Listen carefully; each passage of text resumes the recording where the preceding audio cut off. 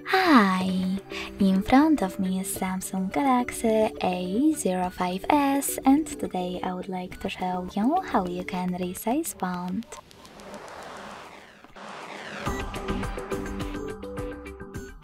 Begin by going into Devices Settings and scrolling down just a bit to access Display. Following that, scroll down again and tap on Font Size and Style.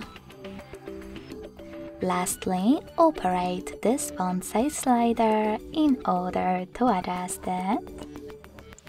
Check out preview above and go back. As you can see after that, size of my text has changed.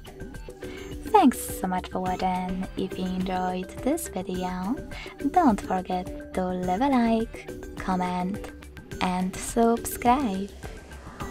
Bye!